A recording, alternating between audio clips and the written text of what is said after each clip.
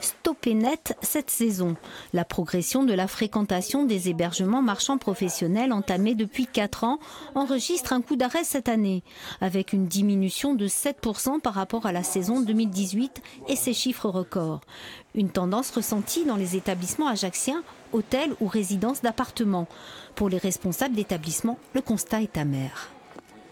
Malheureusement, on n'a pas, euh, je parle d'Ajaccio, de, la ville, on n'a pas su euh, euh, se renouveler au niveau tarifaire. On n'a pas su se renouveler et surtout prendre en compte des événements, prendre en compte des, des, augmentations de, fréquentation touristique dans le bassin méditerranéen.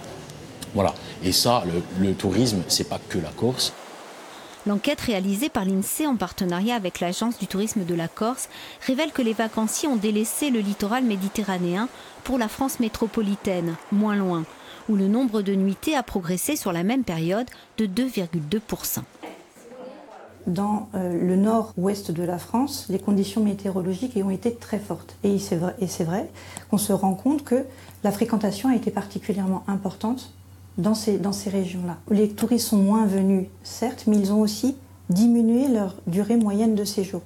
Et enfin, on se rend compte que les étrangers ont fortement vu leur fréquentation diminuer, bien plus fortement que celle, des, des Français. Nous sommes à moins 8% et moins 6% pour les Français. Avec un impact important sur la fréquentation de pleine saison. Autre conclusion, certains types d'hébergements sont particulièrement à la peine. Ce sont les euh, résidences hôtelières qui vraiment enregistrent la, baisse la plus importante de leur fréquentation. Les campings ensuite sont vraiment les, deuxièmes types d'hébergement avec euh, la, baisse de fréquentation la plus importante.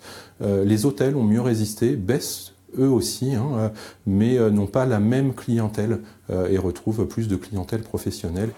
Ces informations seront complétées par d'autres études réalisées en fin d'année et en janvier.